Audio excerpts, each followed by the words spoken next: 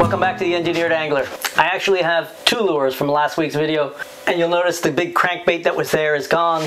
That went out yesterday to the winner of the contest. So in this week's video, I want to make a lure that as it drops through the water column has a really nice big wobble or wiggle, whatever you want to call it. I just think that when you're pausing, it's nice to have the lure doing a little work for you as you're doing your retrieve through the water, especially if you've got some foil or a reflective surface on that lure because it really sends out a big flash and draws fish from a long way off. Now, a while back, actually, I think it's been a couple of years, I made a video on exactly this topic, on what makes a lure wiggle when it's going through the water. And I made these two sort of lure dummies to show you exactly what's going on. This lure is really wide at the top and narrow at the bottom, and this lure is really narrow at the top and wide at the bottom. The idea being the wide part of the lure is at the point where the water flow is departing and that blunt departure tends to cause turbulence. And that turbulence causes that lure to sort of wobble back and forth. Let me show you one more time. So here's the one that's fat at the bottom. It should have almost no wobble at all. Let's see that again. And here's the one that's wide at the top and you should be able to see a little bit of a wobble as it gets close to the bottom. It's pretty subtle, but I think you can see it. And it's the fact that this thing has a really subtle movement that's the challenge for this video. I want to make a lure that has a really aggressive wobble and I think the key to it is going to be making a lure that's really narrow, thin from top to bottom, kind of long and still has that spot on the top. Let me show you what the design's going to look like. All right, here it is. It's gonna have a classic stick bait kind of shape. And what you'll notice is that I'm keeping the widest point right along the center line. And so it's fattest looking down from the top and it's thickest looking on its side right there in the middle. If you look at this cross section, you can see it has that widest part on top and narrow on the belly. It's gonna be 0.65 inches at its thickest part and it's gonna be three quarters of an inch tall at its tallest part. And it'll be five inches long. And this little fin on the belly is there to enhance that movement because I really do want this thing to have a pretty aggressive wobble as it drops through the water. All right, so this is the block of wood I'm going to use. It's a piece of cherry wood. It's about seven inches long and about three quarters of an inch in thickness. I like cherry. It's, it's good and hard, easy to carve, and it's got enough density that I won't have to add a lot of weight to it. So if you guys have been watching the channel, you know that I like to calculate the density of the wood I'm going to use to use it to calculate how much lead I got to put in the lure to make it behave the way I want it to behave. And here's one that's cherry, and the density is 0.686 grams per cubic centimeter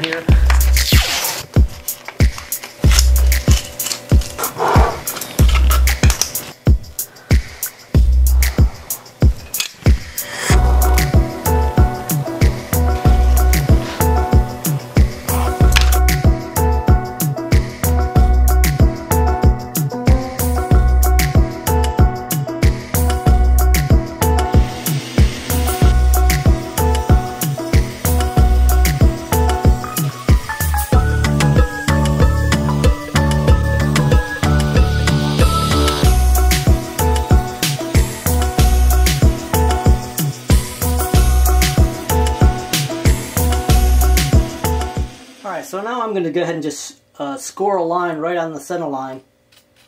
And I'll fill that in with a pencil line too. And that'll help me establish the, uh, the next line, which is the contour lines of the plan view. And to establish those, I'll go ahead and make sure I mark the widest point and then use the curves again to get that curve. There you go. Now it's just a matter of getting that excess material taken off. Alright, so it's still pretty rough. It's time to take it out to the belt sander and get this thing shaped the rest of the way.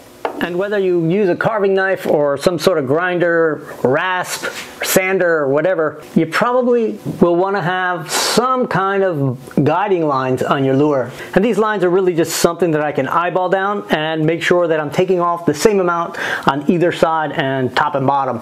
So I end up with a nice symmetric shape.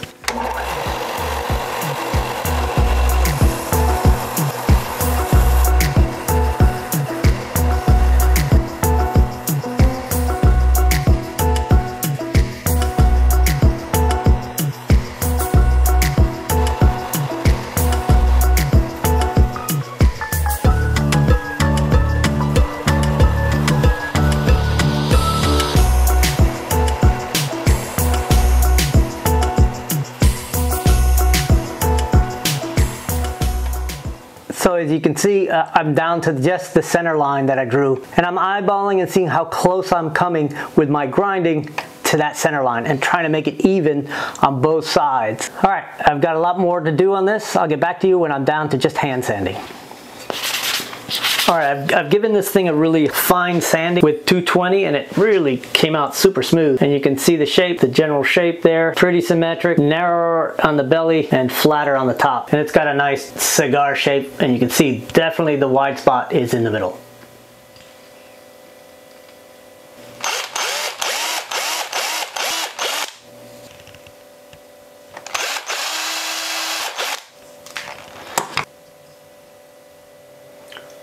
I'm just gonna hand sketch these carving lines.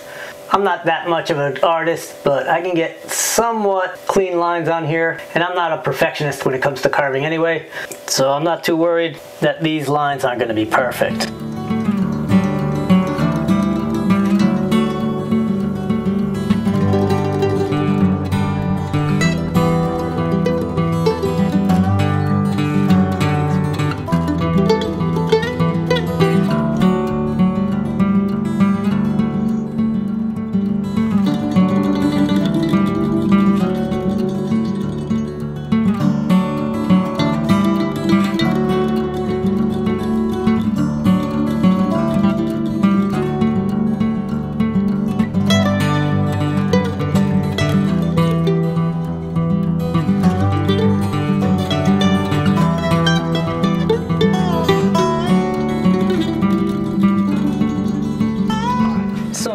Happy with the way the carvings turned out. Now I'm pretty much done taking wood off this thing so I can weigh it. And I'm gonna use that weight to calculate the volume of the lure and figure out how much weight to put in it. And then I'm gonna do my new favorite thing to do with carved lures, and that is put foil over this thing so that the foil gets embossed by the carving. I think it always looks really cool.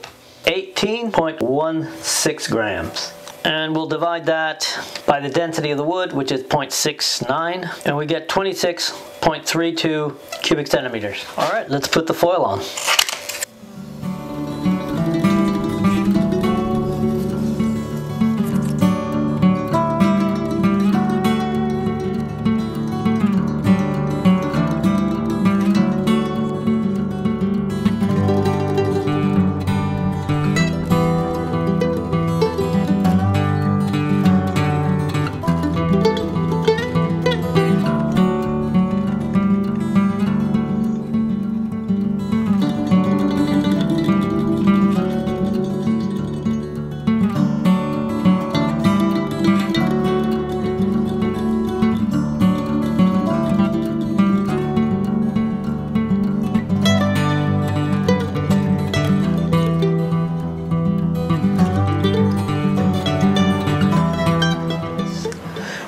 Keep in mind anything that we do to add weight or take weight away is going to affect how much weight we put in it. This particular lure, it's not going to be super critical because I want it to sink and sink pretty fast. But the other really critical factor to get this thing to wobble really well is to have it sink perfectly level. So I'm going to go ahead and drill the holes and install the hook hangers and the tie-on eye and we'll put the hooks on temporarily and see where the center of mass is on this so that we can put the weight in it.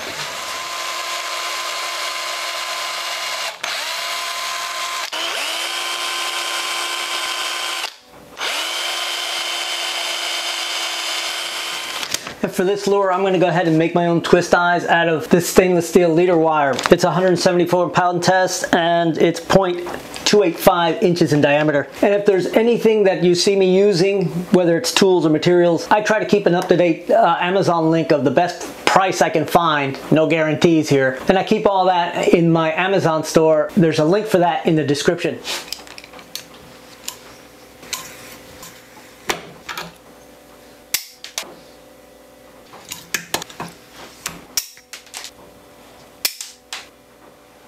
All right, I've glued the uh, eyes in with a little bit of two-part epoxy and let it set up for about 20 minutes. All right, I'm gonna use this level line and plumb line I just drew and I'm gonna hang the lure by this piece of tape with all the little holes in it until I find the spot on this tape that hangs it perfectly level. And that's just a little bit head up. That's pretty doggone close right there. I'd like it a little more head down. So I'm gonna move it over just a little bit. That actually looks pretty good to me. It's slightly head down, but I'm gonna go with it. At this point, I realized that I made a mistake and did not hang the hooks on this thing. So I went back and hung the hooks. You have to have the hooks on here when you do this, or it won't be accurate. So I'm gonna mark where the plumb line crosses the body. And that line is the center mass for this thing. I'll use that line to center all the weight that I put in it. All right, so the lure is 19.53 grams, and I know that the volume is 26.32 cubic centimeters. That means that just to be suspending, it has to weigh 26.32 grams. Let's go ahead and weigh the hooks that I'm gonna use and the split rings along with the lure, and we get 21.87. So that means I need to add about five and a half grams to this lure just to make it suspend, but I want it to sink. So I typically add an extra 10 to 20% to get it to sink slow or sink moderately. I want this thing to sink fast. So I'm gonna add 100% more than the five and a half grams. So I'm gonna add 11 grams, so double the amount. And those three little lead weights add up to 11.03 grams. We just gotta drill holes and put those in. All right, I've marked the three locations for those three lead weights. One right where we marked the center of mass, and then the other two equal distant from that mark.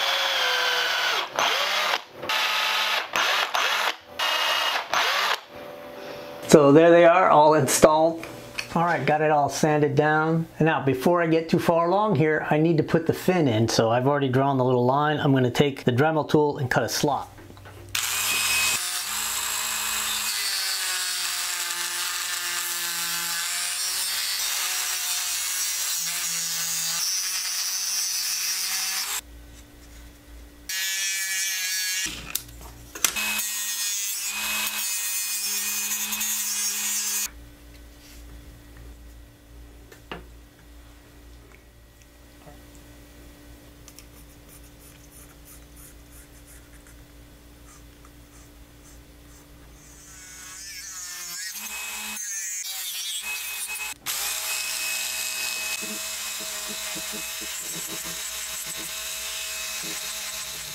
So before I clear coat it, I'm gonna go ahead and get some black paint down into the bottom of these textures. So I'll just spray it with some black paint and then wipe it off and hopefully I'll get some nice contour lines in there.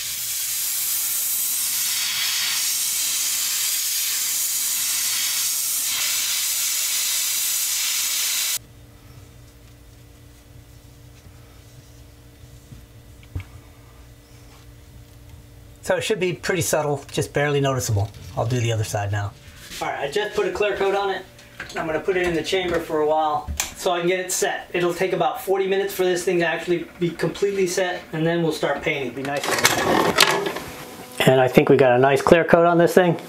Good enough at least to smooth out the wood fuzz and hide those foil seams. All right, so I'm going to start off with this paint job by just painting the bottom white. And I want the line to be sort of crisp. So I'm going to go ahead and tape that bottom off. But as usual, I'm going to have the extractor going. So it's just going to be background music. And if I need to explain anything, I'll do a quick voiceover.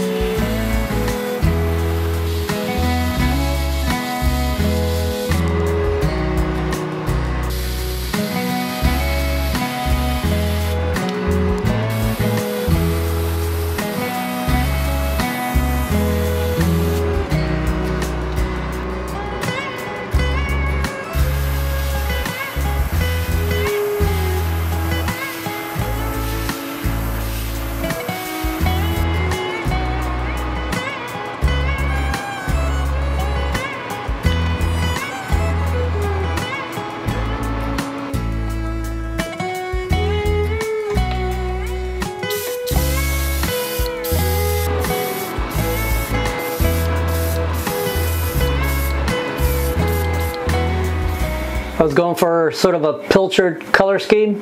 Now I gotta wait for that heavy coat of polyacrylic uh, to dry before I put a clear coat on it. But I got one in there already setting up. I've actually made two, almost identical. The other one I made just slightly smaller. Actually, it's only like a quarter inch shorter, but it's a little narrower at the belly. I'm trying to make it a little more extreme. We'll see which one has a bigger wobble. All right, I'm gonna give it a nice thick clear coat and we'll put it in there with its partner to set up.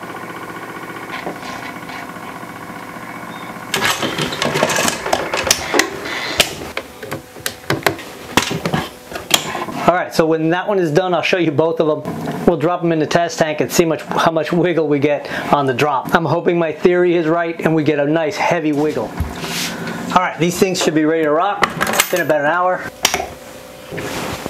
That looks pretty nice.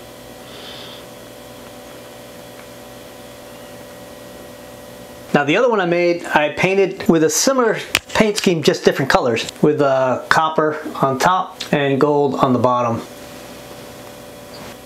So those are pretty cool.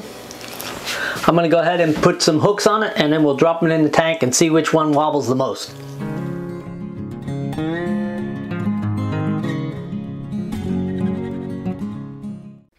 Turns out my test tank is way too short to really capture the action. On this first one, you can barely see it start moving at the bottom, and it bangs against the wall on that one. I think if it had a little farther to fall, it would pick up more speed and wobble more. This is the other one, the more narrow one, and it definitely wants to wobble a little more. You can really see it near the bottom. Alright guys, I came out here intending to show you, try to show you what this looks like underwater it has a pretty good wobble. Not as good as this one though. This one I made just a little narrower at the bottom and that apparently is the better option for these things to get them to wobble. So I'm not done making these guys. I'm still to work on getting something with a little harder wobble than this one. It wobbles pretty nice, but it takes a little bit of distance for it to pick up enough speed for it to really get wobbling. And this guy, I think I just made him just a little too fat. Just when I think I got this stuff down, I get humbled. These are still really nice lures, and I'm really looking forward to using these things out in the Gulf of Mexico. Alright, it's starting to rain and it's been thundering, and there's been a couple of lightning bolts, so I'm gonna head in. So if you guys have a lure that actually has a really good wobble when it's dropping, let me know what you think is making it do it, and maybe I'll incorporate that into the next one. Thanks for watching, I'll see you guys next Friday.